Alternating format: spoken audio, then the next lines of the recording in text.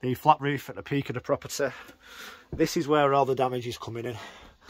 So we can see evidence of this as we move through. This is actually soaking as we speak. Again, this area is extremely wet. Here and also along this section we've actually got some rot on the wood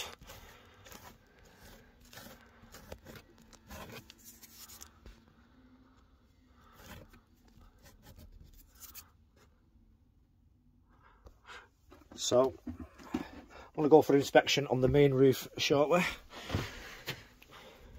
But this is the key area in our mind that needs addressing is this leaded flat large flat roof which has the, the chimneys inserted through it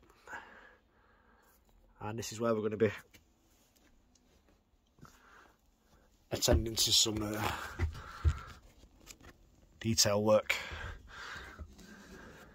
there's some minor spores, as you can see, coming through from the moisture off the flat roof. When we're undertaking the loft work, we'd like to clean these down and I will add on the evidence of the uh, the substance that we're going to spray these beams with to protect against moisture and to protect against dry rot. Okay.